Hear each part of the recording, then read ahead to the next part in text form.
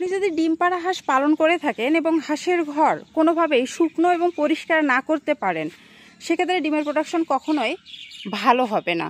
তো অনেকেই আসলে আমাকে প্রশ্ন করেন যে, আপু, আপনি যে হাঁসগুলো রাখেন, যে ঘরে, সেই ঘর কীভাবে শুকনো ও পরিষ্কার রাখেন?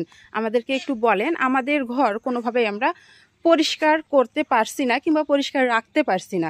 পাশাপাশি আরেকটি প্রশ্নের উত্তর দিব। অনেকে আসলে এই বিষয়টা ভুল করে বসে থাকেন যে এক খামারে দুই বয়সের হাঁস আপনারা পালন করেন কিংবা পালন করতে গিয়ে নানা বাধার সম্মুখীন হন।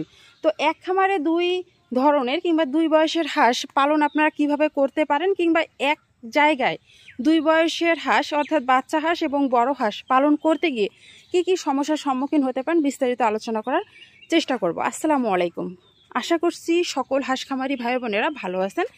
সবাই ভালো থাকেন, সুস্থ থাকেন। এই কামনা করে শুরু করছি আজকের প্রতিবেদন। পুরো প্রতিবেদন জুড়ে সঙ্গে আছে আমি মোসাম্মদ সুমি সিদ্দিকা। তো অনেকেই আসলে বলেন যে আমাদের খামারের ঘর অনেক শুকনো থাকে, পরিষ্কার থাকে। অ্যাকচুয়ালি শুকনো এবং পরিষ্কার থাকার পিছনে অবশ্যই কিছু পরিশ্রম আছে, কিছু কাজের মাধ্যমে সেই ঘরগুলোকে শুকনো এবং পরিষ্কার রাখা হয়। আমরা মূলত দুই জায়গায় হাঁস পালন করি, অর্থাৎ আমাদের হাঁসের খামার দুইটা। একখানে আমরা হচ্ছে সমন্বিতভাবে হাঁস পালন করি, অর্থাৎ মাছ, হাঁসের চাষ এক জায়গায় করি, আর সেখানে মাছার মাধ্যমে আমরা ঘর তৈরি করে দিয়েছি। আর এক জায়গায় আমরা একেবারে বদ্ধ অবস্থায়, অর্থাৎ সারাদিন হাউজে গোসল করে যে বাহিরে জায়গা আছে সেখানে বিচরণ করে এবং রাত্রে ঘরে থাকে আর মেঝেটা কিন্তু একেবারেই কাঁচা। তো এই কাঁচা মেঝে পরিষ্কার রাখতে গিয়ে আমাদের কি কি সমস্যার সম্মুখীন হতে হয় কিংবা কীভাবে পরিষ্কার রাখি, প্রথমে আলোচনা করছি। তো যেহেতু মেঝেটা একেবারেই কাঁচা আর এখন বৃষ্টির সময়, তো আপনি যদি মেঝেতে কাঠের গুঁড়া কিংবা তুষ বিছাতে চান, তাহলে কিন্তু খুব দ্রুত স্যাঁতস্যাঁতে হয়ে যাবে এবং ভিজে যাবে, কোনো না কোনোভাবে ভিজে যাবে। তো এজন্য আমরা এই মেঝেতে, কাঁচা মেঝেতে আমরা হচ্ছে বালু ছিটিয়ে দেই। বালু আপনি ইচ্ছা করলে পরিষ্কার করতে পারবেন কিংবা যদি ভিজেও যায় আবার কিন্তু শুকাতে বেশি দেরি লাগে না কিংবা শুকানোর জন্য তেমন কোনো পরিশ্রম করতে হয় না। তো বালু বিছিয়ে দেই, আর সারা রাত যেহেতু হাঁসগুলো থাকে, নোংরা হবেই, তিন দিন, চার দিন পর পর সেই বালু কিংবা সেই মাটি আসলে চেষে ফেলে দিতে হয়। আর যদি তিন, চার দিন একটু দেরি হয়ে যায় তাহলে কিন্তু সেই ঘরও অনেক নোংরা হয়ে যায় কিংবা কোনোভাবে যদি বৃষ্টির পানি প্রবেশ করে, মাঝে মাঝে কিন্তু যখন বেশি বৃষ্টি হয়ে যায় তখন কিন্তু পানিটা প্রবেশ করে আর তখন কিন্তু একেবারেই সমস্যা হয়ে যায় এবং মাঝে মাঝে ডিমও কিন্তু কমে যায় এই খামারে। তো যাই হোক, এখন আসি যে হচ্ছে পুকুর পাড়ে অর্থাৎ মাছার তৈরি যে ঘরটা আছে সেটা আমরা কীভাবে পরিষ্কার রাখি? সেটা আসলে পরিষ্কার রাখা একটু সহজ আবার অনেক কঠিন। তো এজন্যই সহজ আমরা কিন্তু ওখানে যেহেতু বাঁশের তৈরি আর সাথে সাথে হওয়ার কোনো সম্ভাবনা নেই, উপরে আমরা একটা র্যাক্সিন বিছিয়ে দিই।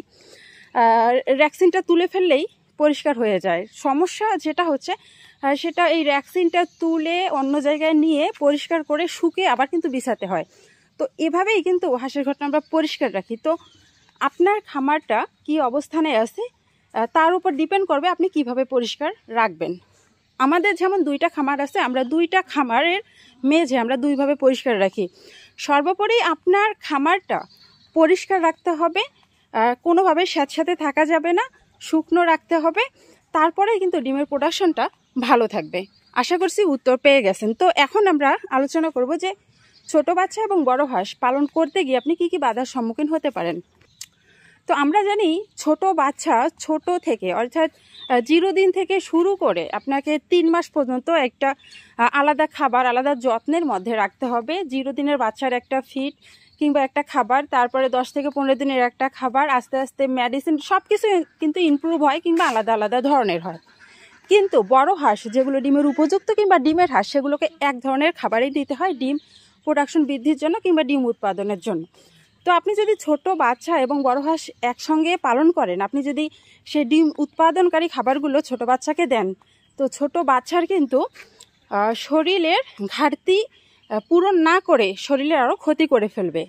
আর ছোট বাচ্চার যে খাবার আছে, সেগুলো যদি আপনি বড় হাঁসকে দেন, অর্থাৎ ডিমের হাঁসকে দেন, তাহলে কখনোই সেই হাঁস থেকে কিন্তু ডিম উৎপাদন হবে না, হাঁসের শুধু চর্বি বাড়বে। তো এক্ষেত্রে খাবারের জন্য অবশ্যই সেই ছোট বাচ্চা এবং বড় হাঁসকে আলাদাভাবে ডিভাইডেড করে রাখতে হবে। আর একটা সমস্যা, সেটা হচ্ছে ছোট বাচ্চার রোগ প্রতিরোধ ক্ষমতা আলাদা এবং বড় হাঁসের রোগ প্রতিরোধ ক্ষমতা আলাদা। তুলনামূলকভাবে বড় হাঁসের রোগ প্রতিরোধ ক্ষমতা বেশি।